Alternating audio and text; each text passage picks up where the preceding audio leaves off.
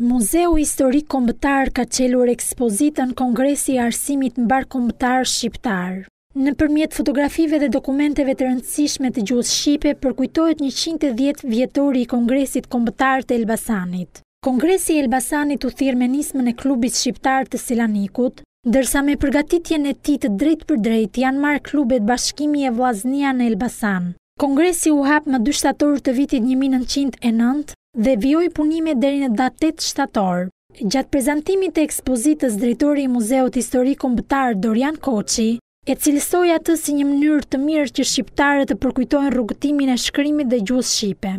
Midis delegatëve të Kongresit kishte veprimtarë të njohur të Lëvizjes Kombëtare si dhe mësues atdhetarë siç ishin Orhan Pojani, Grigor Cilka e Gjergje Sevasti Qirjazi, Mithat Frashëri, Dervish Biçaku, Ahmet Dakli, Refik Toptani, Hafëz Ibrahim Dalliu, Thoma Papapano, Nikollë Kaçori, Simon Shuteriqi, Taqi Buda, Kristo Dako, Emin Haxhi, Ademi, Idomeno Kosturi e të tjerë. Në Kongresin e Shkollave Shqipe u shqyrtuan tre çështje themelore, çelja e një shkolle normale dhe masat e nevojshme për të, krijimi i një qendre të vetme për drejtimin dhe organizimin dhe financimin e shkollave shqipe dhe masat për bashkërendimin e veprimtarive të klubeve shqiptare.